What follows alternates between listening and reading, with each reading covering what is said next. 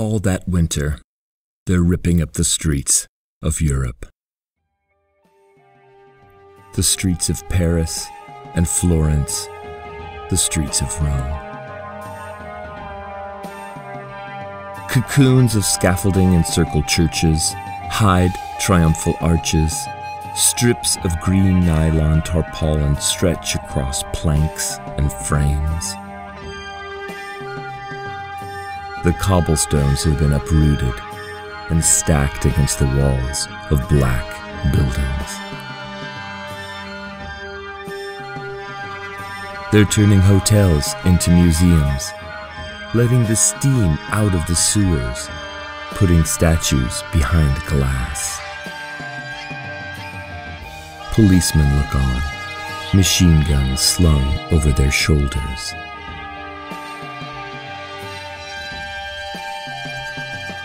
In Rome, they don't have any portable electric lights. Instead, they use little pots of fire that look like old fashioned anarchist bombs in silent movies to warn cars of the edges where the streets drop off into dusty pits. He looks across a muddy hole filled with heavy machinery at a museum. Closed for renovation, the sign says. A whole street in the center of Florence has been ripped up. The exclusive shops face one another across a dank pit of reddish earth. And the walls of green shuttered windows seem to close in on you as you look up. A little rain slips into the narrow streets as Percy hurries home carrying groceries. Other travelers, transients, and the well to do Florentines pass slowly, laden with colorful brand name shopping bags.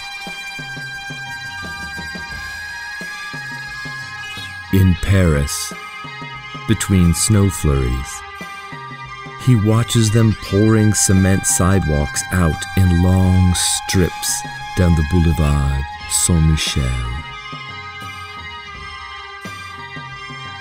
They're laying out the streets of Europe that winter. People pass in a hurry, nobody watching the police frisking some Arabs up against a wall.